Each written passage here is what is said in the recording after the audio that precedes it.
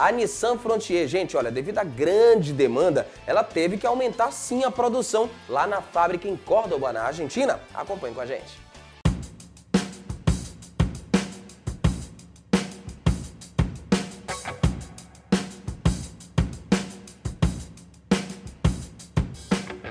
A Nissan anunciou o início da produção da Nissan Frontier na Argentina, que se torna o quinto país a produzir a picape mais vendida da marca, com o objetivo de atender o aumento na demanda mundial pelo modelo. A expansão industrial global da Nissan, que agora inclui a fábrica de Santa Isabel da Renault, parceria da marca por meio da Aliança, localizada na cidade argentina de Córdoba, é um grande marco para a empresa, que anunciou um plano de médio prazo para aumentar em 40% as vendas de veículos comerciais leves até 2022.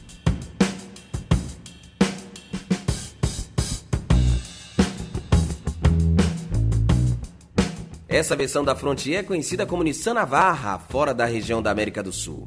E graças à sua popularidade, é produzida em fábricas localizadas na Espanha, China, México, Tailândia e agora na Argentina.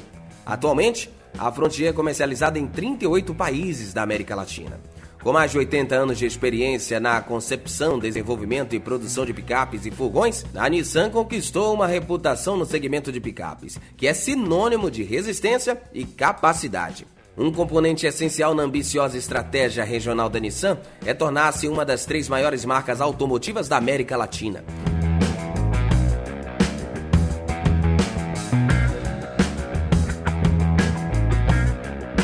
Este investimento de 600 milhões de dólares na linha de produção de Córdoba também deve permitir a criação de até 3 mil novos empregos, diretos e indiretos, com capacidade para produzir 70 mil veículos da aliança por ano.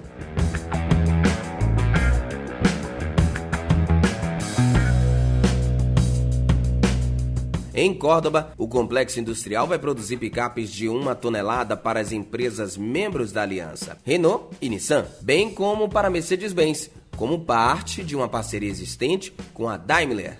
As três picapes compartilharão componentes estruturais, mas preservarão a identidade de suas respectivas marcas, com características distintas de designs e atributos.